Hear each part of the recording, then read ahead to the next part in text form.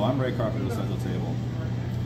So apparently I'm the chef of the month for, I'm assuming April, Uh-huh. where I'm at on this. Yes.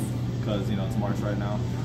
So what they do is they gave me a list of questions to answer for the public, for you guys, which I think is cool, funny. You get a little personal with the chefs and we can have a little fun with it too. Why not?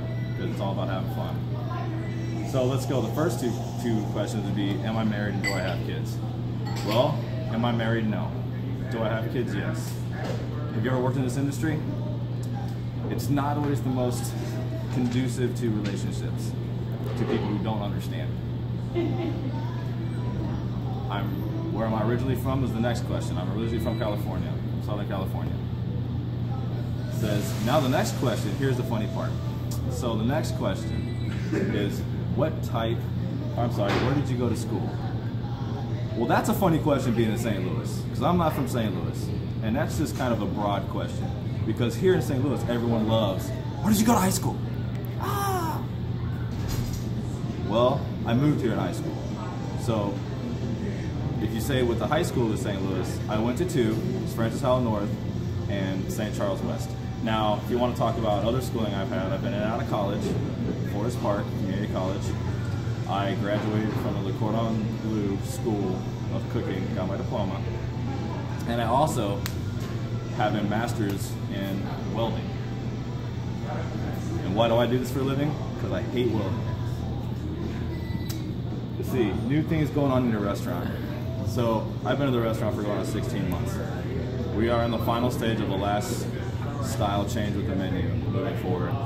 I told them when I took the job, when I started, it would take over, it would take a year to do different menus to figure out where we're going where we're going with the restaurant. Um, my favorite menu item.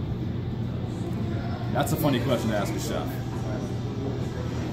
I stand behind all the menu items, so there's not one that's my favorite. Some look a little more unusual than others. I like to have creativity and fun, but still give people what they want. I want them to be unexpected, what they what they're getting, but follow through with the fact that it's better than I thought it was going to be.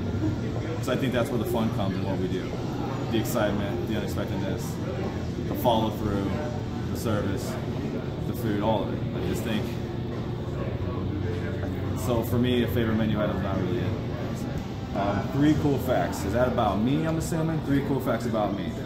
Well, I'm not really that cool, first of all, because I'm, you know, not that cool.